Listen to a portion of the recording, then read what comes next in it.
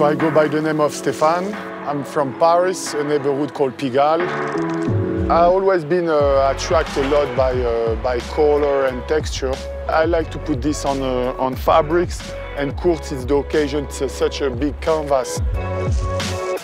You know, I've been working with Nike for about 10 years now on the road. We've been uh, collaborate on product, on some events, uh, mainly around basketball.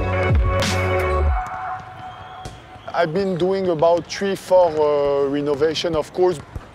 Paris one, it was a parking lot and we painted. The color palette is, uh, I guess it's something like doing music maybe. It's not something that you pre-prepare too much at the first sight. You just go with it and then you construct and then you sharp it up. I discovered that color, it protect a place, put people into a better mood, and here now in Mexico City. I love basketball. I've always been uh, playing. I play at least two, three times a week. Been coaching kids basketball. That, that was my first job. Then I went into fashion, but actually I just use uh, fashion as a medium to do more things, to put people together, to do basketball court, to have fun, the color, the atmosphere, just put things together.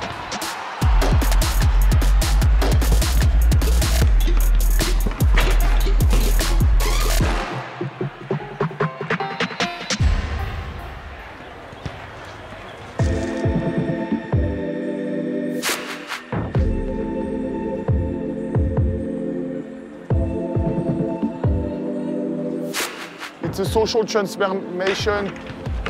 You know, we have as much player as tourists, as people coming, sit down, take photo. You want to go discover.